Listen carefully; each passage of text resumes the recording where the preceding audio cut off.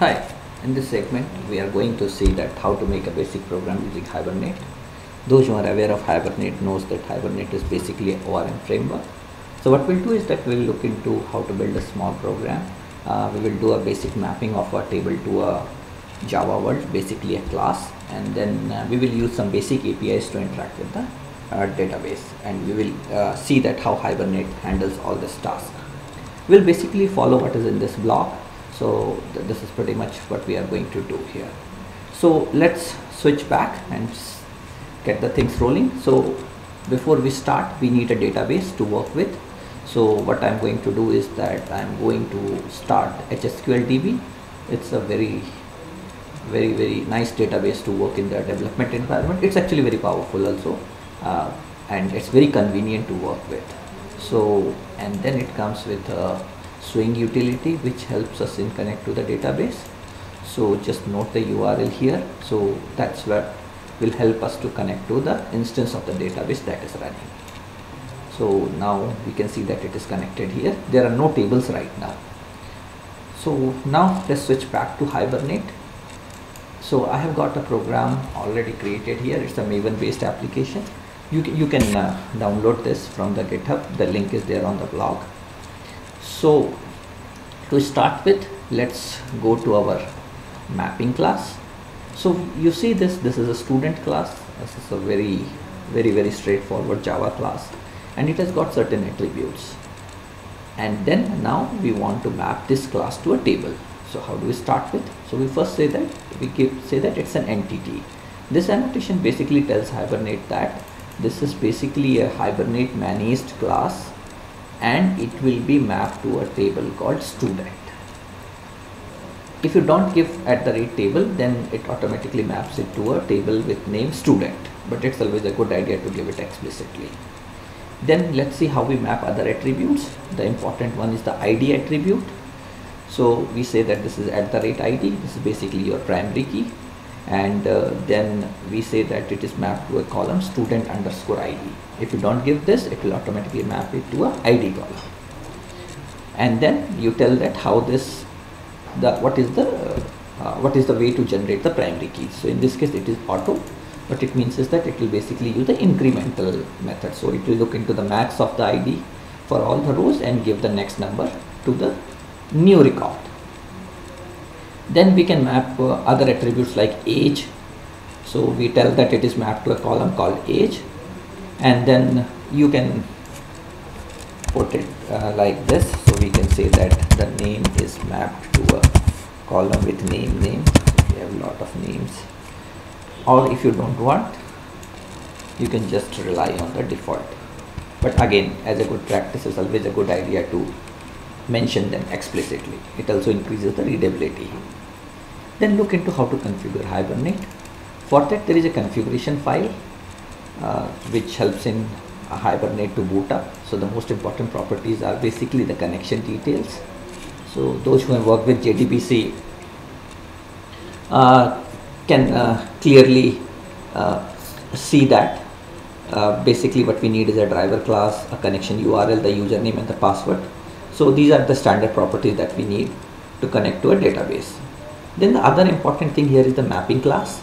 So we are telling here to the Hibernate that basically student is our is an entity for us. It will be managed by Hibernate and it is the class which is mapped to a table in the database.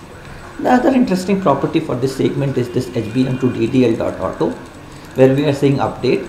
So we are telling Hibernate that if you don't find a table, do create one for us. This is good for development purpose. You may not want to use it for production. So once our configuration is in place, let's look into this Hibernate util, which is basically a very standard boot, boot up class.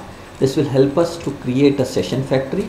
You can think of session factory as the core of the runtime of Hibernate. And uh, this is where this whole uh, everything about Hibernate is you can manage it basically through this session factory. So once all of these things are in place, we are good to go. Let's look into how to run it in the main program. So if you see here, uh, we start with opening a session. So we again go to session factory and ask it to give us a session. you can think of session as a connection if you're working with JDBC. Then we ask it to basically begin a transaction boundary. You can have many transaction boundary inside a session, but uh, let's just have this transaction boundary being open here.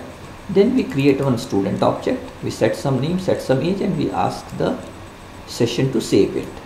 So this is how Hibernate will basically persist this object into a record in the database. We do it with another student object, we give some name and age and again we save it, commit and then we close the session. So let me just run it in the debug mode. I have put a breakpoint here.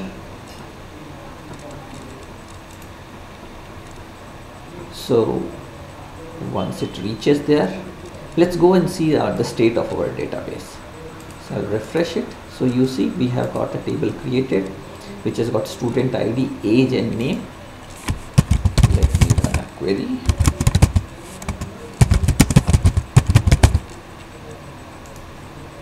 So you see here, these are the two records that are created.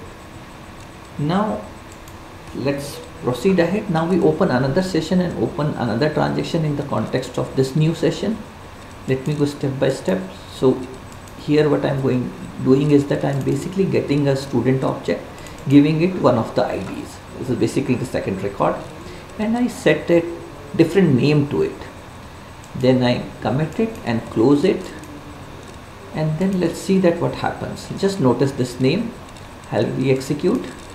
The name has changed. It has changed to what I have updated it to. However, note that I have not called any update or any save or any persist method here and this is one of the very fundamental aspect of Hibernate that you want to be comfortable with. Hibernate will basically manage the entities for you. It will take care of if any changes are happened, it will be propagated to the database automatically. However, there are certain rules around them. So, but this is something very very core of Hibernate. You want to be very very comfortable with that. It's all about managing the entities in the Java world and making sure that whatever changes are happening to those entities are getting propagated to the relational world.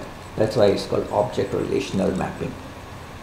And then like a good programmer, a good practice, we shut down everything so that everything goes down. Uh, so we call this hibernate util.shutdown. I'll just run it and that's where we will stop here.